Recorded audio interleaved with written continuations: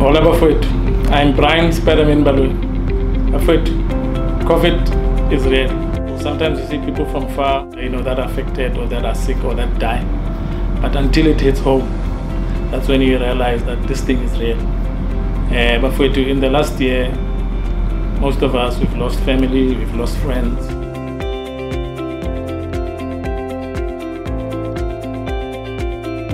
Children, just in general, we've lost our loved ones because of this COVID. Let's be responsible. Let's vaccinate uh, so that we can save lives, we can save ourselves. The future will be brighter most of you are alive. You can only be alive if you make sure that you take care of yourself. And taking care of yourselves is vaccinating. Let's do the right thing.